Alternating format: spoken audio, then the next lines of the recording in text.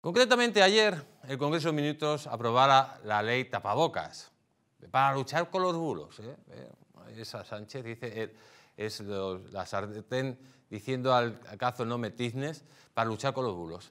Y al día siguiente, el tipo mete esta trola, este bulo, a todos los españoles.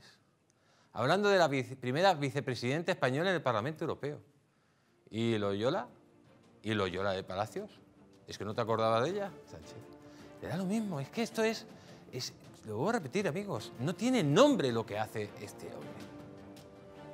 Hoy nos hemos enterado también de cómo en la embajada española, atención, en la embajada española, le presionaron, le extorsionaron, le chantajearon a Edmundo González para que firmara que reconocía que había ganado las elecciones el genocida de Maduro.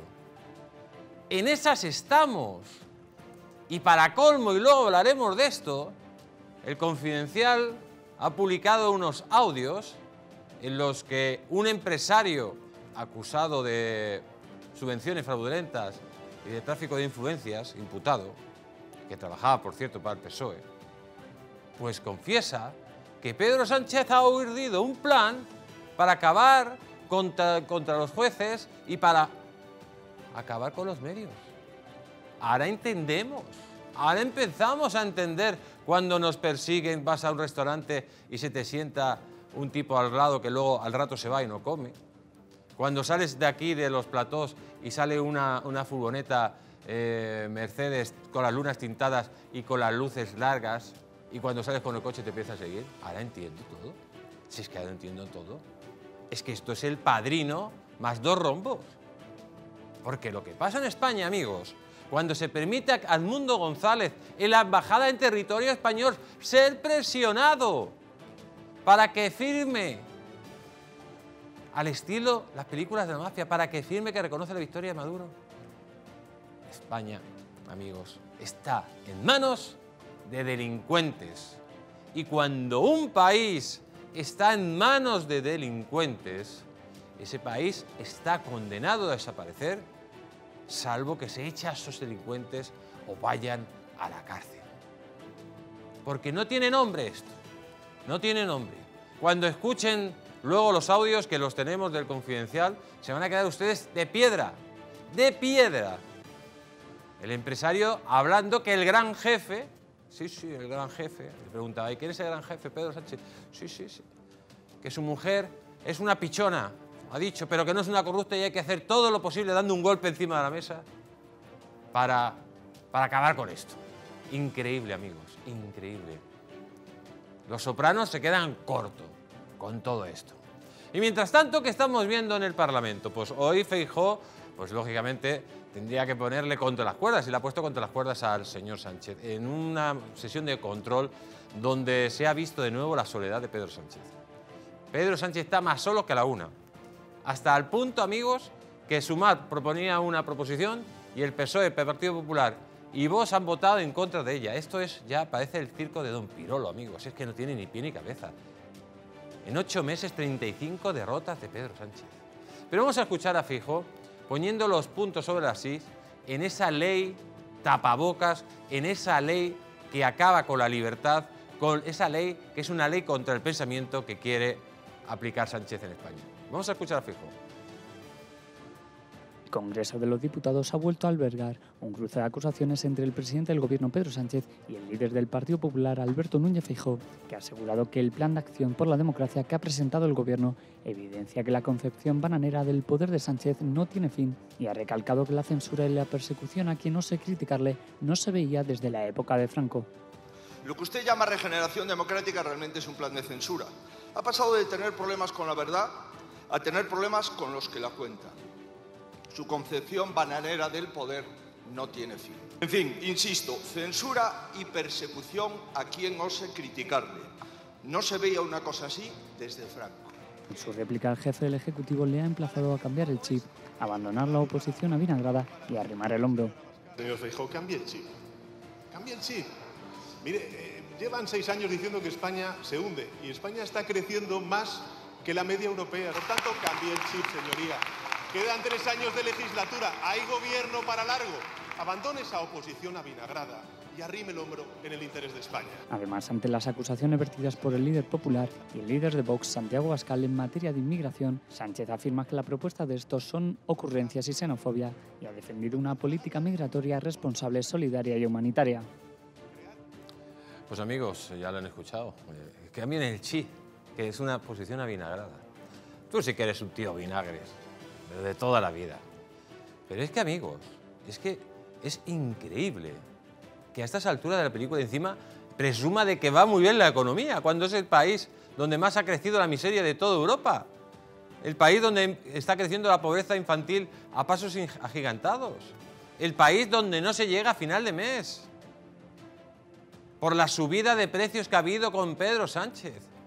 Y es que si juntamos el estado de la economía con el estado de la corrupción, con el estado de, podredumbre de las instituciones, con la destrucción del Estado de Derecho, estamos montando aquí un auténtico volcán que puede hacernos explotar por los aires a todos porque este hombre nos ha llevado ahí.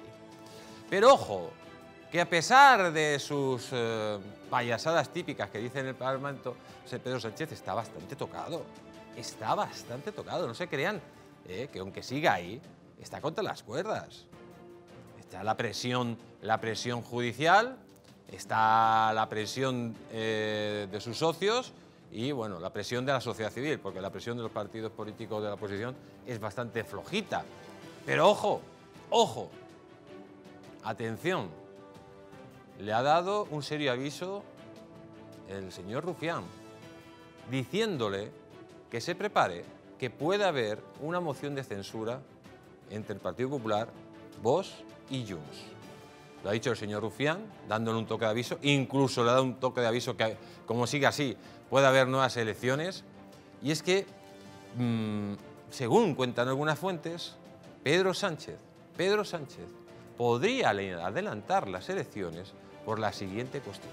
Lo dijo ayer Javier Venegas. ¿Y cuál es la cuestión? Viene un crack económico, o sea, la economía se va a caer como un eh, castillo de naipes.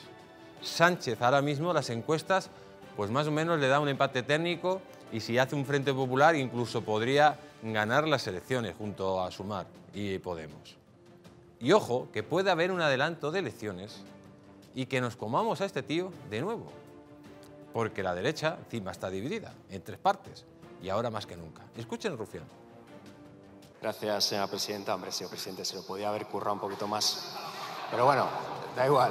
Hay un, hay un libro, hay, hay, un buen libro, un gran libro que dice algo así como que un fantasma recorre Europa. Pues hay un fantasma que recorre este hemiciclo, es el fantasma de la derecha y de la otra derecha. Un bloque nuevo que se está conformando PP, Vox y Junts. Repito, PP, Vox y Junts. Ustedes ya han perdido 35 votaciones, muchas de ellas por este bloque. De hecho, ayer mismo, en ese voto miserable contra regulación del alquiler que afecta a tantísima gente. Dicho esto, ustedes ya sé que dirán, lo llevamos diciendo meses, ¿eh? Y ustedes llevan meses diciendo, no, no, Junts no se va a atrever. Junts, hombre, no puede ir con quienes pegaron a los catalanes el 1 de octubre. No, hombre, Junts no puede ir con quienes niegan la nación catalana. No, no pueden. Desconocen absolutamente la capacidad, la enorme capacidad mediática. Pues ahí tenemos, amigos, Rufián amenazando a Pedro Sánchez, que ha perdido ya 35 votaciones. Lógicamente, si es que Pedro Sánchez no tiene la mayoría en el Congreso, si es que perdió las elecciones.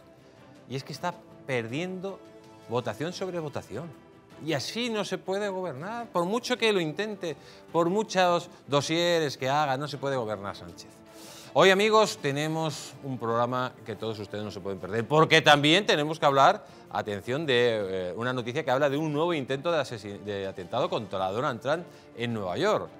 Al parecer, eh, la policía, hay dos, dos versiones. Eh, una, que la policía habría detectado un coche con explosivos que se preparaba para explosionar en un mitin de Donald Trump y hay otra versión que habla de que eh, ha sido una falsa noticia metida por los eh, demócratas para que la gente se asustara y no fuera al mitin. atención que lo de Estados Unidos ya es la aurora boreal. Estamos hablando, estamos hablando de que está al borde de la guerra civil y quieren matar al candidato republicano sí o sí, por activa y por pasiva. Ya tres intentos de asesinato. A ver lo que, lo que pasa. Y encima el responsable de FBI es un tipo que abiertamente ha criticado a Donald Trump. Y todo el mundo habla de que hay filtraciones en los servicios secretos, que hay un topo que está pasando información para que, a lo mejor, determinadas élites o determinados partidos políticos acaben con la vida de Donald Trump.